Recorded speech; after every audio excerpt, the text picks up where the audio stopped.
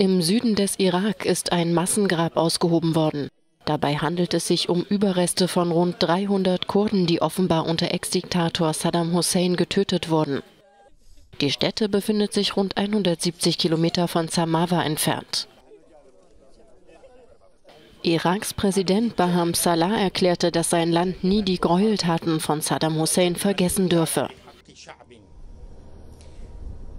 Dieses Verbrechen ist ein Kriegsverbrechen und ein Völkermord gegenüber Menschen, die kein Unrecht begangen haben, außer Kurden zu sein. Das kriminelle und rassistische alte Regime betrachtete sie als eine Gefahr für seine Herrschaft und Macht und vernichtete sie. Männer, Frauen, ältere Menschen und Kinder. Saddam Hussein hatte die kurdische Minderheit im Irak brutal unterdrückt. Mindestens 180.000 Menschen wurden durch seine Anfallkampagne Ende der 1980er Jahre und den Giftgasangriff auf die Stadt Halabja getötet